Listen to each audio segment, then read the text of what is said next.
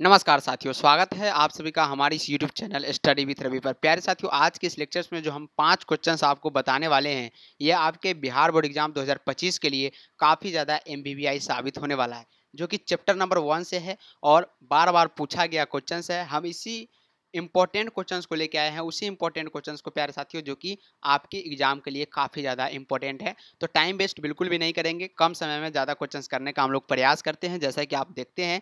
तो चलिए स्टार्ट करते हैं हिस्ट्री के चैप्टर वन के टोटल शॉर्ट जो क्वेश्चंस बनते हैं, आपके एग्ज़ाम में दो नंबर में पूछे जाते हैं तो उसको जरा हम लोग क्लियर करते हैं आज के इस चैप्टर्स के हिसाब से। चलिए, पहला नंबर क्वेश्चंस की ओर चलते हैं। सबसे पहले देख लीजिए, चैप्टर नंबर वन है और क्या है? ईंट मनके एवं अस्थिया, हड़प्पा सभ्यता से रिलेटेड तो शॉर्ट यहाँ पे क्वेश्चंस आंसर जो है, लघु उत्तरीय प्रश्न का सोल्यूशन आज हम करने वाले हैं। तो जैसा कि आपको पता है कि काफ़ी इंपॉर्टेंट क्वेश्चंस का सिर्फ़ सोल्यूशन यहाँ पे आपको कराया जाता है, चाहे वो ऑब्जेक्टिव हो या सब्जेक्टिव लगातार हम लोग आपके तैयारी में रामबान साबित आ रहे हैं। तो चलिए, पहला नंबर क्वेश्चन क्या पूछा जाता है, जरा ध्यान देंगे कि अभिलेख किसे कहते हैं?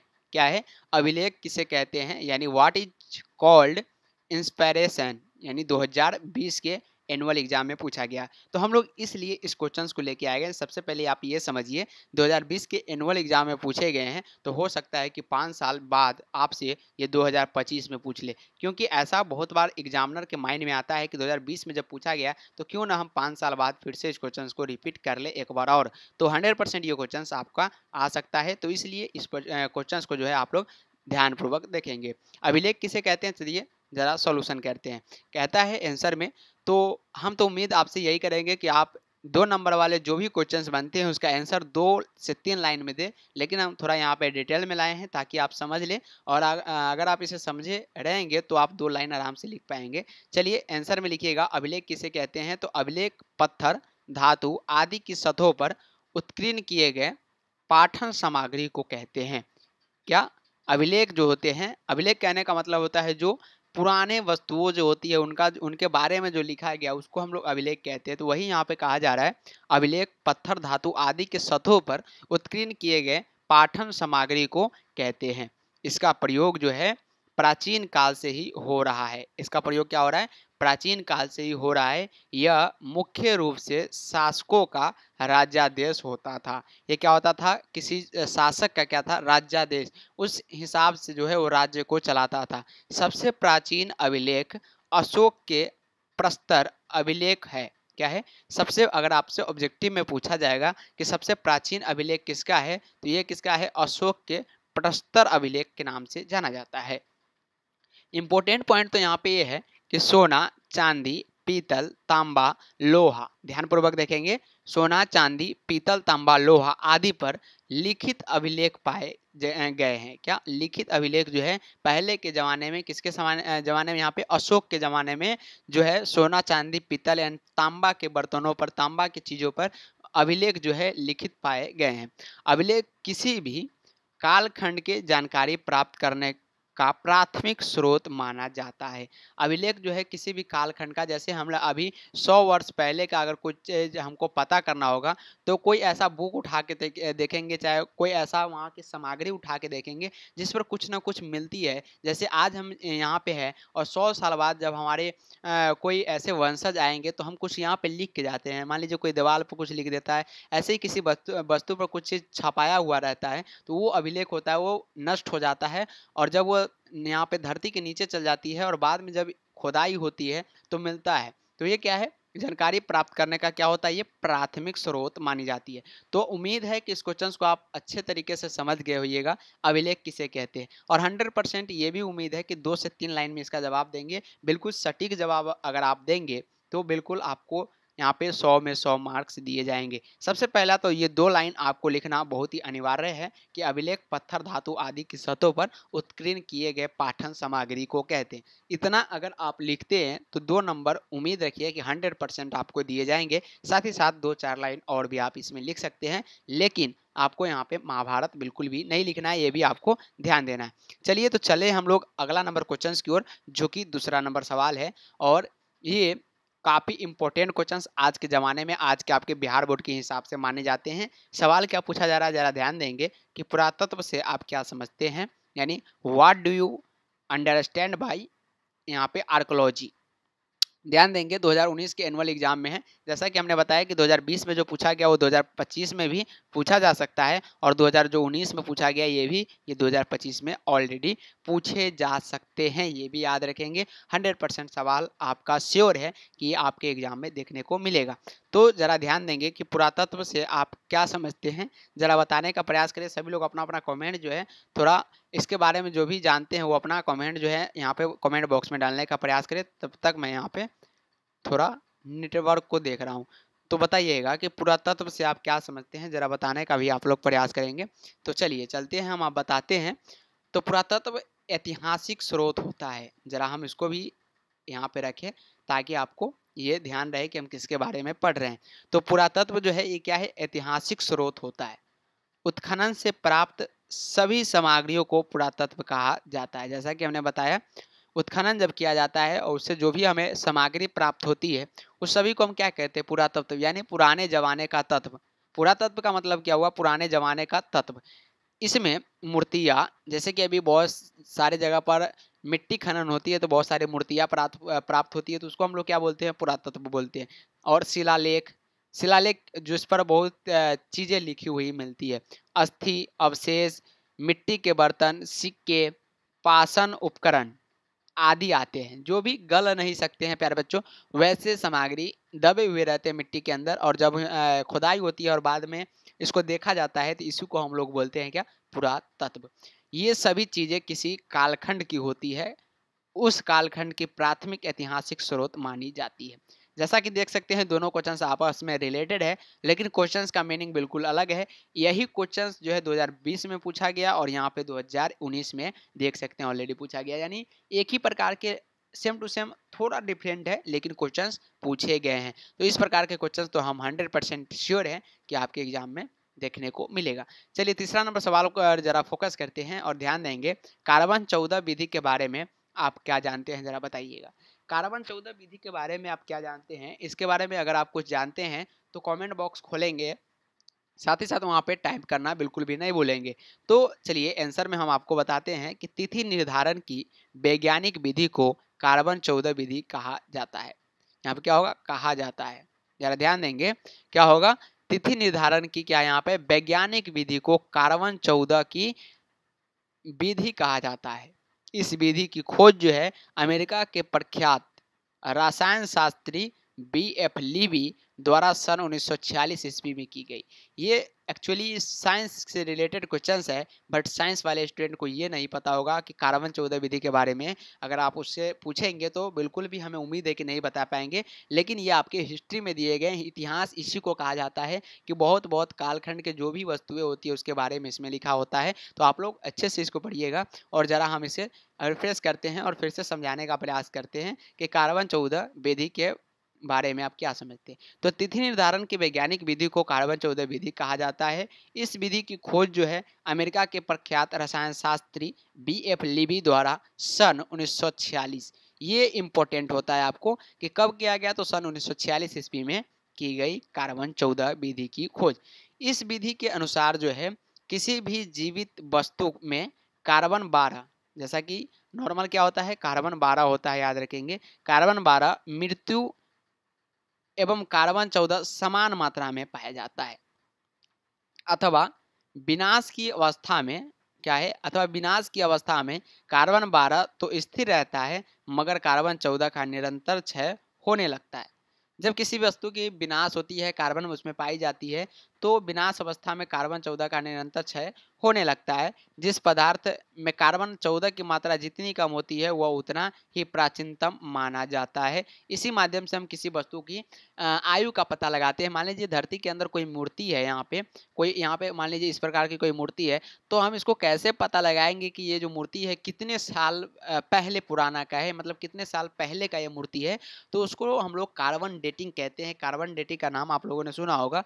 तो यही होती है कार्बन डेटिंग जिसमें कार्बन चौदह की मात्रा जितनी कम पाई जाती है, उतना ही वो प्राचीनतम माना जाता है, याद रखेंगे। और कार्बन बारह की मात्रा जितनी स्थिर रहती है, वो मतलब अभी न्यू है न्यू वस्तु है। अगर वो कार्बन चौदह की मात्रा जितनी कम हो जाती है तो मानी जाती है कि ये वस्तु जो है बहुत प्राचीन काल का। तीन नंबर क्वेश्चन उम्मीद है कि अच्छी तरीके से समझ में तो आ गया होगा, बिल्कुल। चलते हैं चार नंबर क्वेश्चन की ओर, जो कि स्टार मार्क है, और सवाल जो है बार बार ये पूछे जाते हैं तो बिल्कुल आप इसे एम के घेरे में रख सकते हैं ऐसे सवाल को। तो पूछा क्या गया कि हड़प्पा सभ्यता के विस्तार की विवेचना करें। हड़प्पा सभ्यता तो आपके एग्ज़ाम के लिए महा एम क्वेश्चन रहता है। क्या रहता है प्यारे साथियों? महा एमबीवीआई जैसा कि ये ऑब्जेक्टिव में भी धूम मचाते हुए आता है हड़प्पा सभ्यता साथ ही साथ सब्जेक्टिव में भी पूछे जाते हैं। हड़प्पा सभ्यता के विस्तार की विवेचना करें। 2009 के एनुअल एग्ज़ाम में पूछे गए और इधर भी पूछे गए। यहाँ पे मैं नोटेड नहीं किया हूँ। इंग्लिश में देखें तो discuss the extent of the Harappan civilisation तो सिविलाइजेशन का मतलब ही सभ्यता होता है। इंग्लिश में भी हमने लाया है ताकि आपका डिस्टर्बेंस बिल्कुल भी ना हो। कभी कभी मीनिंग जो होती है इंग्लिश वाला ही हिंदी में छाप दिया जाता है। ऐसा पेपर में कई बार देखने को मिला है। जैसा कि आपको ऑब्जेक्टिव में भी देखने को मिल सकता है। तो हड़प्पा सभ्यता के विस्तार की विवेचना करना है। चलिए करते हैं, जरा ध्यानपूर्वक सुनेंगे। काफ़ी इंपॉर्टेंट टॉपिक पर हम बात कर रहे हैं आज चैप्टर नंबर वन के सब्जेक्टिव क्वेश्चन जो कि अभी लगातार चलती रहेगी और प्रत्येक चैप्टर से पाँच ऐसे क्वेश्चन उठा के आपको दिए जाएँगे, जो कि आपके एग्ज़ाम के लिए काफ़ी रामबान होगा। पीडीएफ लेने के लिए जो है टेलीग्राम चैनल को ज्वाइन कर लीजिए, साथ ही साथ व्हाट्सअप ग्रुप भी यहाँ पे आपको लिंक जो है इसी वीडियो के नीचे डिस्क्रिप्शन में प्रोवाइड कर दिया जा रहा है। तो चलिए हड़प्पा सभ्यता का उदय भारतीय उपमहाद्वीप के पश्चिमी भाग में हुआ था। सबसे पहले हड़प्पा सभ्यता का उदय भारतीय उपमहाद्वीप के पश्चिमी भाग में हुआ था। रंगनाथ राव महोदय के अनुसार हड़प्पा सभ्यता का विस्तार पूर्व से पश्चिम तक 1600 किलोमीटर एवं उत्तर से दक्षिण तक 1100 किलोमीटर है। कितना है? पूर्व से पश्चिम तक तक 1600 किलोमीटर है बट उत्तर से दक्षिण तक कितना है? 1100 किलोमीटर है। यह सभ्यता उत्तर में कश्मीर के मांडा ज़िले से लेकर दक्षिण में नर्मदा नदी के मुहाने तक और पश्चिम बलूचिस्तान के मकरान तट से उत्तर पूर्व में मेरठ तक फैली हुई है। यानी हम कह सकते हैं कि हड़प्पा सभ्यता कोई छोटा सभ्यता नहीं है, ये प्राचीन सभ्यता है, साथ ही साथ बहुत दूर तक फैली हुई है। इसका क्षेत्रफल त्रिभुजाकार है, कुछ इस प्रकार के त्रिभुजाकार है और मैप भी आपके इस क्वेश्चन में दे रखा है, किधर से किधर तक है। साथ ही साथ लगभग यहाँ पे कितना है? कहाँ दाई सैकड़ा हज़ार, दस हज़ार, लाख, दस लाख। देख सकते हैं, बारह लाख निन्यानवे हज़ार छः सौ वर्ग किलोमीटर में फैला है। तो ये तो आप बिल्कुल इस डाटा को नोटेड कर ले।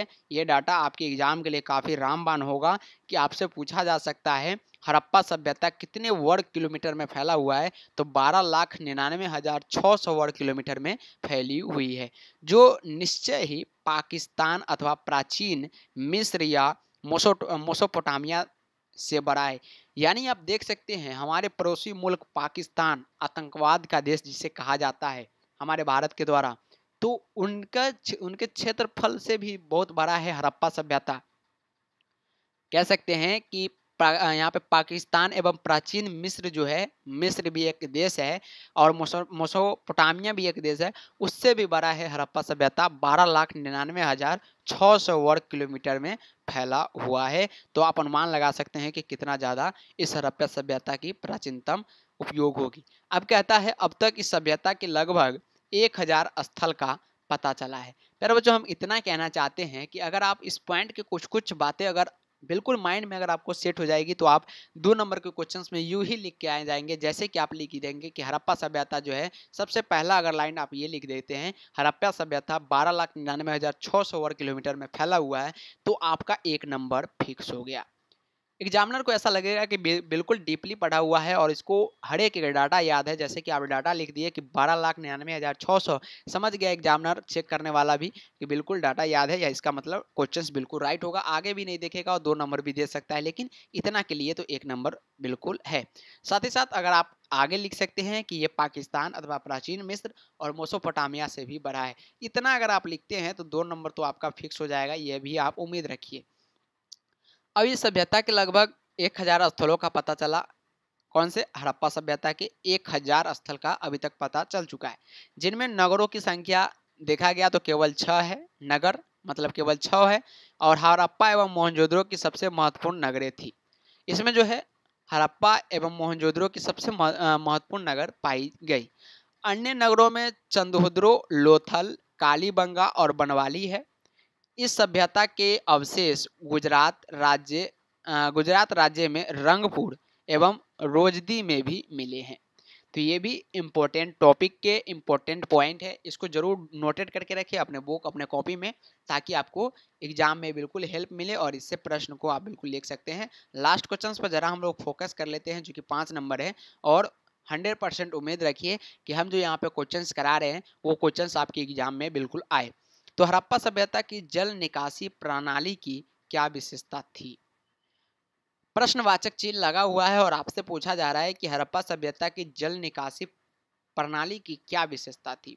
What were the features of a drain drainage system of Harappan Harappan civilisation 2020 में ऑलरेडी पूछा गया सवाल है तो हम उसी क्वेश्चंस को लेके आए हैं, जो कि ऑलरेडी पूछे गए और आपके पाँच साल बाद तो हंड्रेड परसेंट रिपीटेड होंगे। चलिए हड़प्पा सभ्यता की जल निकासी प्रणाली की कुछ विशेषताओं के बारे में जरा हम वर्णन करें तो हड़प्पा सभ्यता की जल निकासी प्रणाली काफ़ी विकसित थी। नगरों में नियोजित जल निकासी प्रणाली आधुनिक नगर योजना के समान थी। क्या थी? आधुनिक नगर योजना जो है, उसकी समान जो है, हड़प्पा सभ्यता की जल निकासी प्रणाली के आधार पर विकसित की गई। यहाँ के नगरों में घरों, नालियाँ, सड़कों का एक साथ नियोजन के रूप में निर्माण कराया गया। सड़कों के तरह नालियाँ भी एक दूसरे की समकोण पर काटती थी। घरों से पानी गली के नाली में तथा वहाँ से शहर के मुख्य नाली में जाती थी। नालियों में जगह जगह चह चह बच्चे बने थे, जिसे कूड़ा कचरा मुख्य नाले में नहीं जाना, नहीं जाता था। तो देख सकते हैं कि इसी प्रकार कुछ आम भाषा में ये क्वेश्चंस लिखे गए। तो आपको भी इसी प्रकार से लिखना है और उम्मीद यही रखना है कि ये क्वेश्चन जो है एम है और आपके एग्ज़ाम में बी बोर्ड एग्ज़ाम 2025 में काफ़ी बार ये क्वेश्चंस पूछे गए और 2025 में भी आपके एग्ज़ाम के लिए एमबीबीआई साबित होगा। प्यारे बच्चों, ये पाँच क्वेश्चंस गेस्ट थे आपके एग्ज़ाम के लिए और विश्वास रखिए कि क्वेश्चंस पूछे जाएँगे। तो आज का ये लेक्चर कैसा लगा? बिल्कुल कम समय में पाँच क्वेश्चंस देने का प्रयास किया हूँ। उम्मीद है कि दोबारा आप इस वीडियो को देखते हुए अपने कॉपी में लिखने का प्रयास करें। सभी क्वेश्चन आपको याद हो जाएगा। साथ ही साथ वीडियो को अच्छा लगा है तो शेयर करने का प्रयास करेंगे उन सभी बच्चों के पास जो कि 2025 में एग्ज़ाम देने वाले हैं। सभी ग्रुप में ज्वाइन हो जाइए। टेलीग्राम चैनल का भी लिंक दे रहा हूँ। इसी डिस्क्रिप्शन में व्हाट्सअप चैनल का भी लिंक प्रोवाइड आपको कर रहा हूँ। तो आज के लिए इतना ही। तब तक के लिए बाय बाय टेक केयर। जय हिंद एंड जय भारत। पढ़ते रहे और बढ़ते रहे।